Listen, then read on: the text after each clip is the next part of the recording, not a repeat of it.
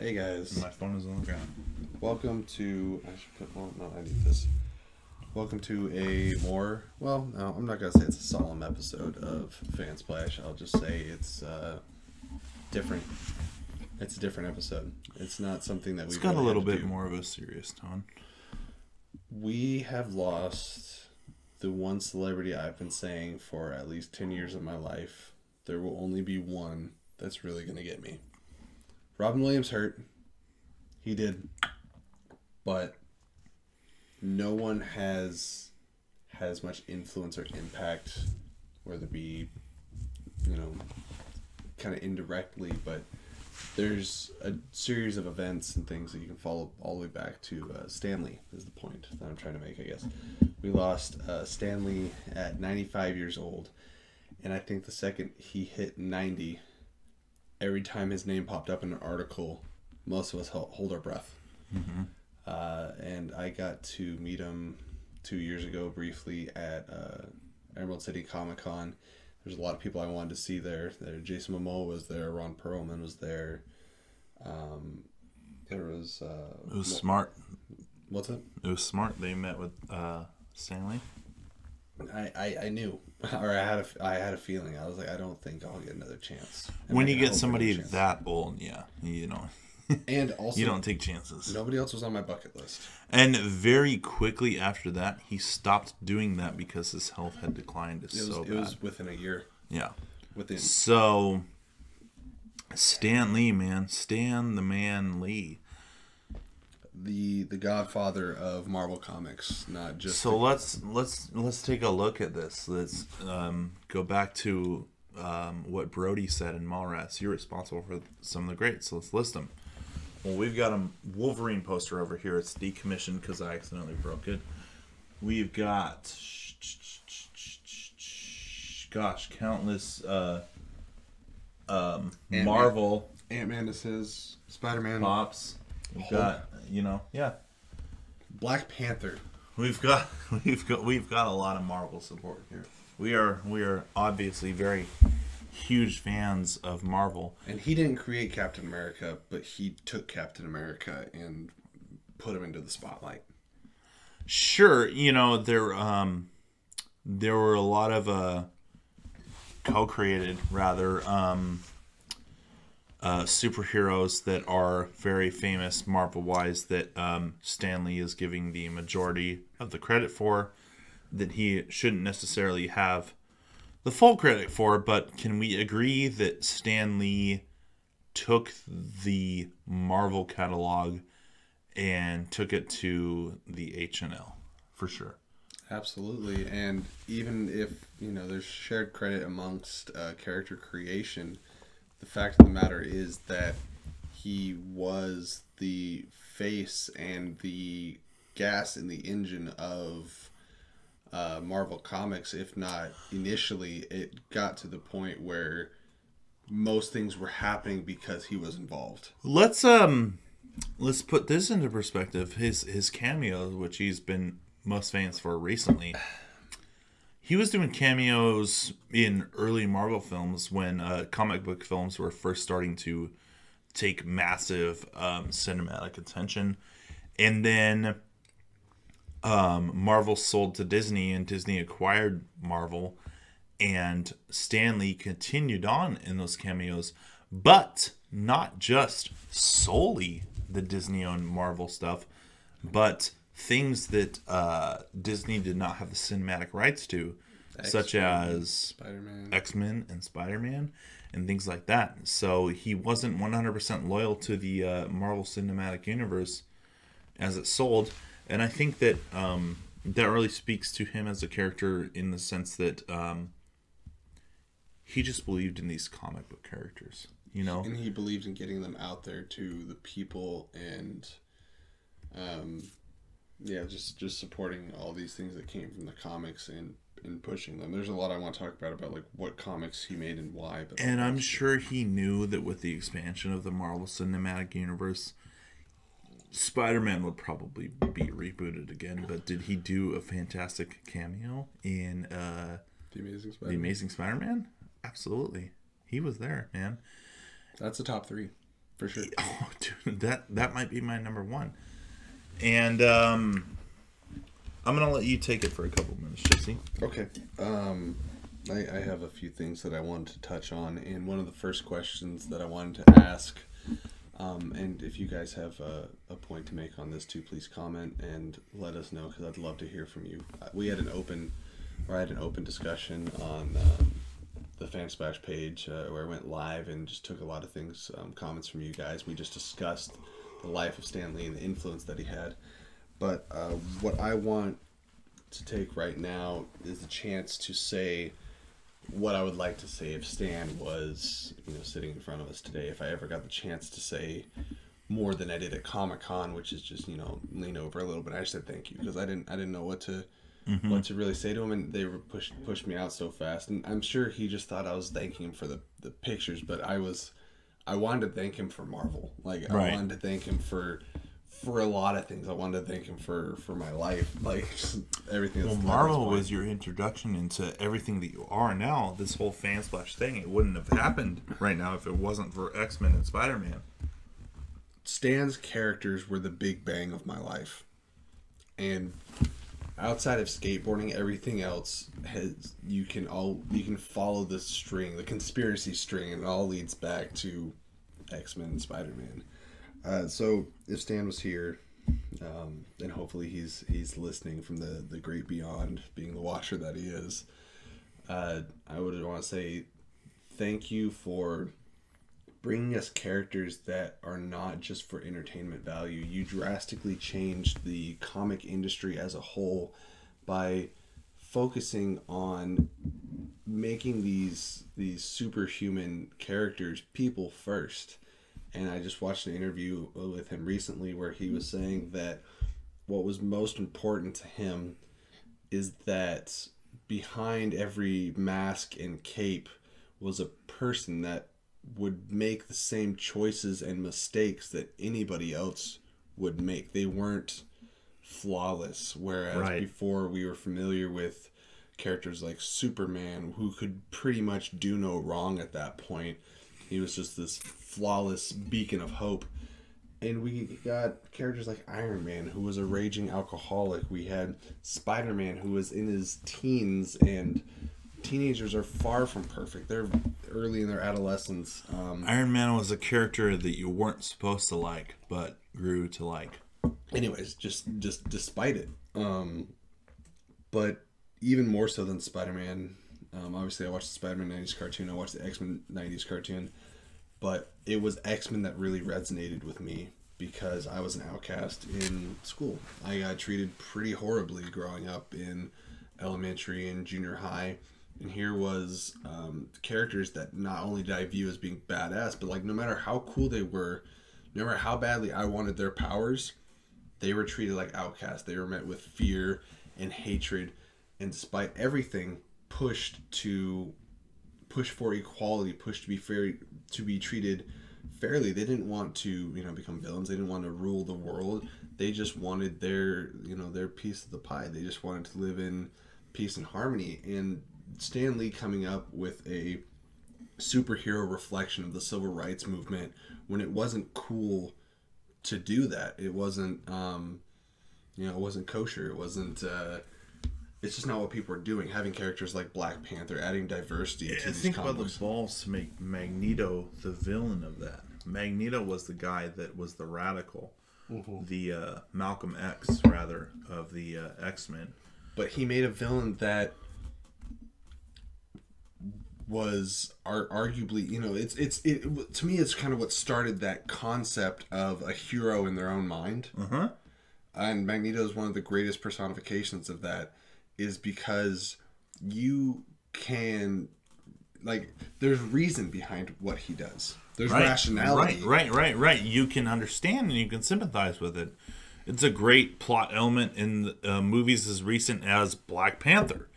Um, there is the villain that you understand on a personal level, and you get where they're coming from, and you're you you identify with them.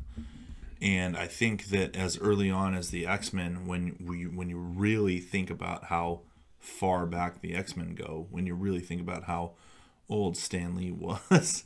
um that you just get somebody, you know, as fleshed out as Magneto and with his polar opposite being uh, you know, obviously Charles Xavier, you get these characters that have such depth. And to think that he did that tenfold with you know so many other marvel characters that it's just you know the list goes on and on and on and on and on.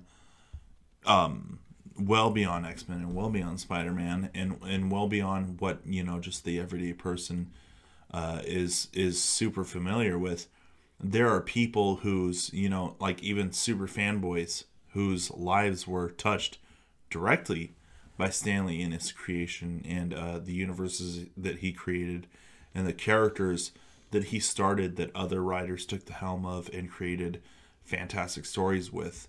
Uh, Stan Lee really, really, truly left his mark on the modern world of cinema and entertainment. And to think that it all started with uh, comic books, it's uh, it, it's it's crazy to believe. You want to talk about the word, you know, legacy. Legacy, yeah. What he has done, created, and the lives that he has um, inspired will go on and on and on for, you know, 10, 20 times his lifespan. When uh, some people think, man, these Marvel movies are getting um, to be a lot, and there's so much Marvel that I can't, you know, keep up with it. Um, we've had enough already. There's there's there's so much Marvel. Um, just think of what you know this guy and a couple other co-creators created this entire universe, this entire universe of these completely fleshed out characters. Like Jesse mentioned earlier, every superhero is a person before they're a hero, so they were all personified if you've ever read any uh, Stephen King novel, you know, you like really fleshes out like who this person is before they he describes like anything else about like them or like their supernatural ability or whatever the hell the book's about. You know, he just gets like down into their idiosyncrasies. And um, that's something that uh, Marvel characters have in common is they're very, very, very well, and I'll say it again, fleshed out and so when you think of wow, a entire universe has actually really been created. I mean, it really has. Don't you agree? I absolutely like, agree. It's just it's insane that fiction can go this far. Fiction can go as far as multiple realities, multiple different timelines, multiple different um, tales of, of, of one, two, or hundreds of heroes going this way or that way in in alternate timelines, things like that, different tellings, different stories, different this is or that's, civil wars, infinity wars. And it's just crazy to believe that there are these characters that he created on paperback comic books that are so fleshed out that they can have their story told in countless ways and countless runs. And the fact that one person could even keep up with them is just fucking astronomical. And then you get people like Jesse who do their very best to do that. And uh, what what how do you think that um, this impacts them? It's um, I mean it's it's hard to put into words. And you think about how long comics and various um, media's existed before Stan really came into his own with the comics and where did we hear with great power comes great responsibility that is directly from Stan and that is something that that quote that ideal that viewpoint that um, moral code compass what have you is something that should never fade and i think that um, a lot of who I am and what I've learned and how to be like just a good person, try to be better than um, you know, better than uh, better than your average person is from what I learned from the characters that he made. I later in life became just because the, of the grandioseness and like the godlike elements. I became a bigger fan of DC. I, it's just fun to read. Mm-hmm. But when I talk about what speaks to me and what I feel like is being written for me, it was the Marvel characters. And I like that you're not pretending with that. You know, like I, when when I'm thinking about like um, you know, like um, the sheer entertainment value of of something, I I do want to lean more towards DC, but I think that familiarity wise, and as far as like everything that I know, almost all of it's Marvel, and I think that DC has that excitement factor to it is because it's so new to me uh, because I grew up almost solely on Marvel, and I loved Marvel so much. I was I was practically a loyalist. The fact that I even like DC as much as I do now is only because I've loved Marvel for so long that DC just seems like a um, like an exciting outsider. You know, like sure. a like a like a new girlfriend or something like that. You know what I mean? So um, so I, I get what you're saying in in terms of that. Um, but but uh, but I respect that you know you're you're not you're not hiding anything. And bringing it back to to Stan for a second, what he did with the diversity and representation and putting characters first not only changed Marvel Comics but drastically changed the competition as well. It was I think only through his inspiration that DC was able to try to tell interesting and engaging stories of Superman and Batman that aren't just about the flash bang boom. It was about Bruce. Mm-hmm. It was mm-hmm. about Clark. Right. And I don't think we would have gotten that without him, or it would have been years and years later until somebody figured out that that's how you do it. Right. Yeah. So it direct, directly affected DC in that way too. And I would agree with you. And let's talk about this. Let's talk about the greatest cinematic achievement of all time, arguably, um, to me, and that would be the Marvel Cinematic Universe. I mean, who would think? How many films along are we? We are, I believe, Ant Man and the Wasp was number 20. So we're going on our 21st and 22nd film. And, uh, and the hype is just still there 100%. We're, we're it still, only it only grows. We're still there 100%. 22 films all tied together. Has that ever happened before? No. Do you think it will ever happen again this successfully anytime soon? No, because think about movies that we've had that started in the 70s. Star Wars. What right. are we at? We're, I think, 10 films when we throw Rogue One and Solo in there. Right. About, uh, and that started in 78. Right. And it's 2018. Um, and so yeah, we have ten. Marvel is over doubling that. No, no, I, I just don't see anything going that long. Um, the Harry Potter franchise, we're on our tenth movie as well.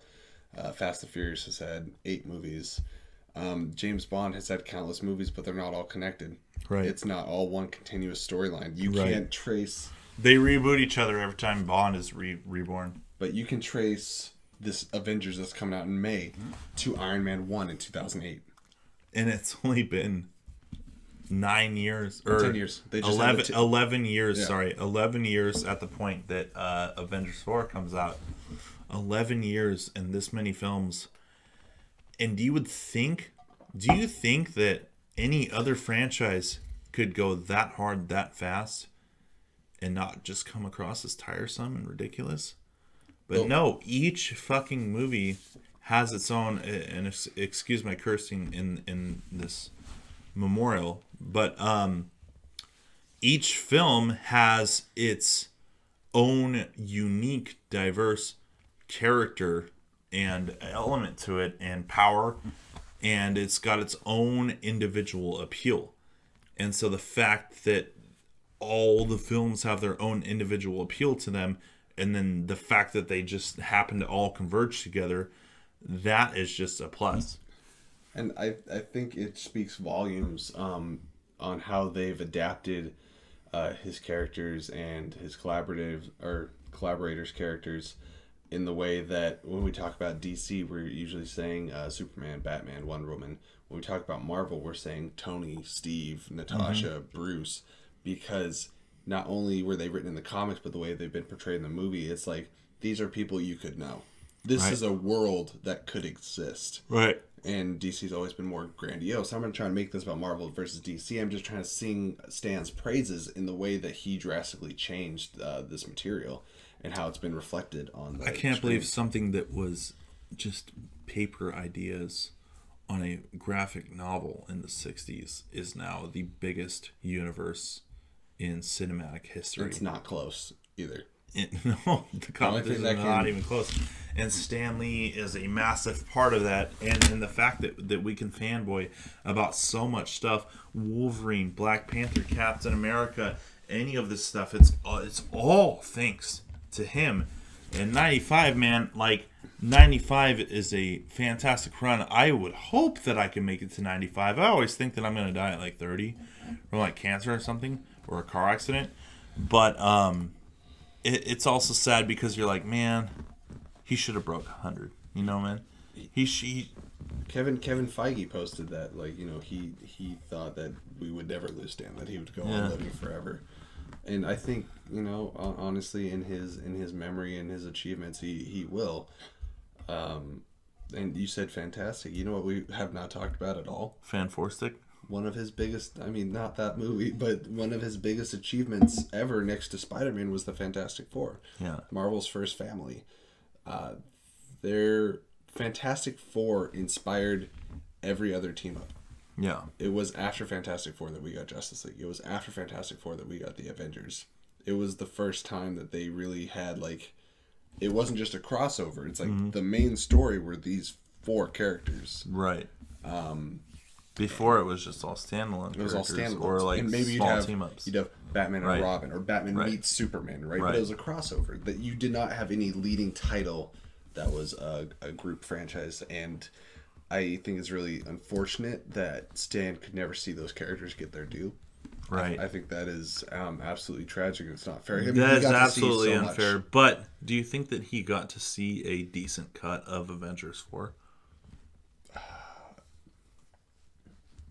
I don't know. I don't know what his health was like in the last few months. I don't know how much he was out. Do you think like if he knew enough he'd be like, "Well, can I at least see Avengers 4?" Like I wouldn't even like- stress about it because I'm just imagining Stan sitting and watching Infinity War. Okay.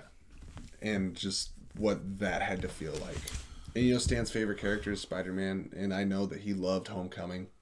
That's good. Um, So I think, Homecoming was great, dude. Homecoming tears me apart because I don't know if I want that to be my favorite Spider-Man movie or Amazing Spider-Man 2.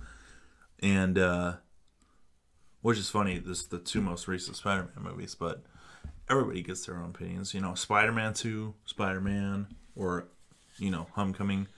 Not a lot of people agree with me on the Amazing Spider-Man thing, but anyway, I, I, Spider-Man's one of my favorite characters of all time too, so I agree with Stan. what's very important about what Stan's done is you can point to pretty much any Marvel character, and that's somebody's favorite character. Mm-hmm. That character changed their life. It could be Wolverine. Wolverine. Wolverine. Black Panther changed people's lives. Having Storm be a member of X Men changed people's lives. yeah.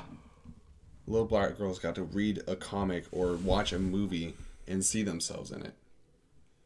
Where it, it- Superman, maybe an alien looked Caucasian. Batman, Caucasian male. Captain Marvel, Caucasian male. There was a trend with a lot of stuff. First Green Lantern, Caucasian male. Stan said no. This is the the world is a melting pot of ethnicities and cultures and orientations and things and like they should all be represented um and everyone should have have their place and everyone should have an idol that they can look up to and somebody they can dress up as for halloween um and so i think that's that's you know when we're talking about his legacy something that is uh, really important um i got i got most of what i wanted to say as far as what i would say to him if he was here but if you could address him directly what would you want to tell him? How has his creations and what he's done affected you personally? Well, granted, we don't have the massive following that I would want with this uh, podcast, but I always say I just do it for fun, man. And I would not be doing this for fun if it was not for X Men. X Men and Spider Man. I am in the same What was our as you. longest podcast? X Men. X Men was three hours long, by the way, guys. Um, that's episode eleven of Fan Splash. That's actually on our old channel. It's it's been a while. Um, but if it were not for X Men and Spider Man, man, I would not be a nerd by any sorts. I would not be a fanatic of any sorts. I wouldn't be a fan of Doctor Who or Supernatural or any of the other things that I love. You know, I um. I wouldn't be a, an, an apologist for these Netflix shows. I wouldn't like DC or uh, or or Batman or any of that shit. Like I, it was, it's all because of X Men and Spider Man, and that is all because of um, a big help from Stan Lee. So, um, would any of this be here without him? I don't think so. Um, if I'm being completely honest, I, I do not think so. Would half of these actors have the career that they do now? Would Robert would Robert? Jr. Dan- I was gonna say Robert Downey Jr. hole. would never have come back from the uh, rehab hell um, that he did. Um, but Stan Lee said, "If you're blind, if you're disabled, you can be a superhero. yeah, If you're black, you can be a superhero. Right. If you're gay, you can be a superhero. If you're Asian, you can be a superhero. if you're a woman, you can If be you're a superhero. woman, I was trying to think if I said that already. No, But yeah. Um, but yeah, um, uh, yeah, I'm I'm not like pretending or anything. Like maybe, maybe DC would have commercialized really well. Maybe, uh, you know, we would be praising, God knows who. Um, Geoff Johns, like 50 years later. yeah, uh, that I was that's funny. Is that's the name that comes to mind is Geoff Johns for DC. DC. Um, maybe, um, but uh, I don't. I don't think so, man. It's it's it's hard to believe without Stan Lee because Stan Lee's the name that just comes to mind. All right, um, because we're talking about his creations, and this might be a hard pull, but what would be your favorite Marvel character? My favorite Marvel character is Wolverine. I mean, that's that's tough to argue. I feel like that was the first. It's a good go-to, but one of my favorite movies of all time is Logan. And as recent as it is, dude, that movie was great. It was so good. And it only just solidified how much I loved Wolverine. Man, X-Men, the movie coming out, the first X-Men movie, uh, I loved the character Wolverine prior, and I was so excited to see him on the big screen. And I was so happy by his portrayal. And I just remember even just the, the, the, like previews for the movie and stuff like that. I was just so excited to see X Men. I went and saw. Oh yeah, uh, it's me. Prove it. You're a dick. I went and saw it over Pokemon, dude. Pokemon was in theaters, and I went and saw X Men because Pokemon 2000. yes, Pokemon 2000 and X Men were in theaters at the same time, and I was a very young child, and I picked X Men. So that should say a lot, man. Like I fucking love X Men. I love Wolverine. I used to like Cyclops more, but it went a lot more. I used to run around the schoolyard with three sticks in each hand. Yeah. Going, you know, and you wonder why I was bullied.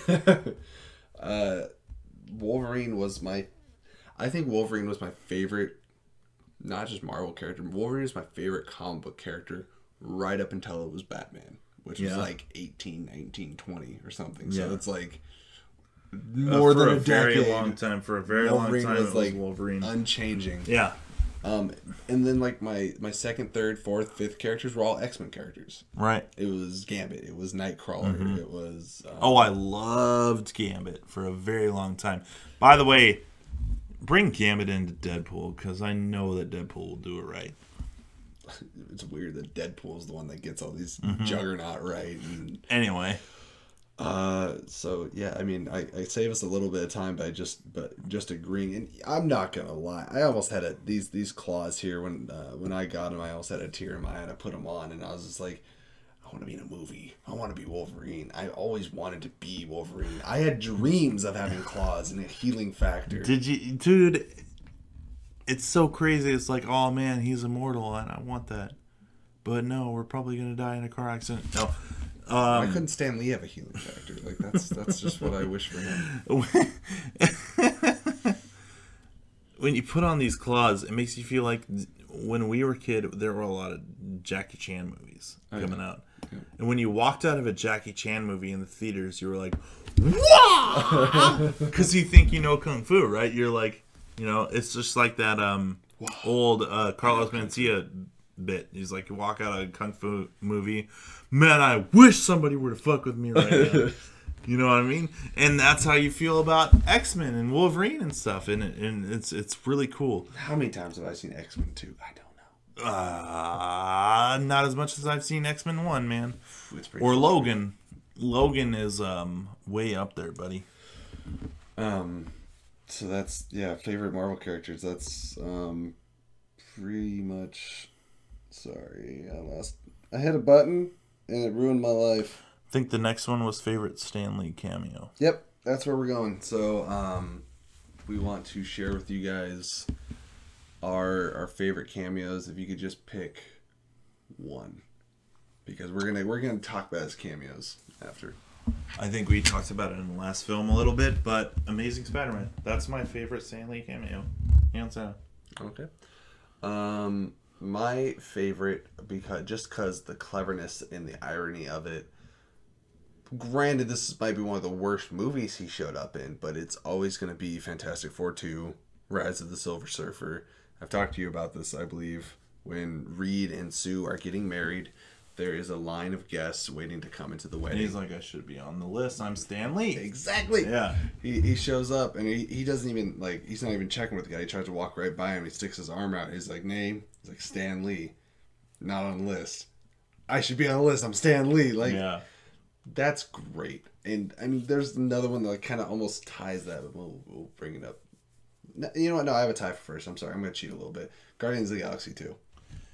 Guardians of the Galaxy 2 is a fantastic one. I also feel like it's a good, easy cop out because it kind of combines all the MCU ones. And he even mentions his Civil War cameo in that Yeah. scene. He's like, That was I a was a Federal mailman. Express. Yeah. Yeah. Um, that is a great one. Uh, so you guys tell us what your favorite Stan Lee cameos are. Tell us uh, your fondest, um, I guess, um, memories because of Stan Lee are, because you obviously probably don't know him. Um, tell us. Um, Any fun facts that you might know that maybe we don't? yeah, fun facts. Um, us. a- any, anything about Stan Lee, just share anything Stan Lee. Spam the page with Stan Lee. We're gonna love to hear it because this is a big thing for us. This is um this is an absolutely um upsetting thing in, in a Fake Fruit? um yeah um Sorry. what um Would we be friends? Wha- That's very true. We connected over Marvel. We probably wouldn't be friends if it weren't for the Avengers movie. Because I, I just I found out that you liked superhero movies. Yeah. Mainly like Marvel movies because there wasn't really DC movies at that time. Yeah. And finding somebody that has that niche interest with me. And if I freaked didn't out. have was that like, "You're my interest, buddy." If I didn't have that interest when he started the Think Now network, I wouldn't have reached out to him and we wouldn't have had Fan Splash. And so Stan Lee Whoa. comes back to all of that. And man, we wouldn't be as close as we are if it weren't for Stan Lee. So tell us why Stan Lee is important to you and um, what he means to you, Kelsey. Thank you for already putting something out. Um, anybody else, if you have something to say, feel free to upload it onto the Fan Splash uh, network um, on Facebook or email us, um, thefansplash at gmail.com. Um, we look forward to hearing anything that you have to say about Stan Lee and how much he meant to you. Um, because Stan Lee meant a lot to the uh, comic book community, the cinematic community, the cartoon community, and the general fandom. And here at Fan Splash, we are a splash of all the fandom, and uh, there would not be as big of a splash or even a wave at all without Stan Lee. So. So thank you, Stan Lee. Um, we will always remember you.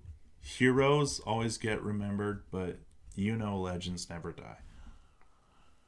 Um, so until next time, Excelsior. Excel- It's all about you today, Stan. Música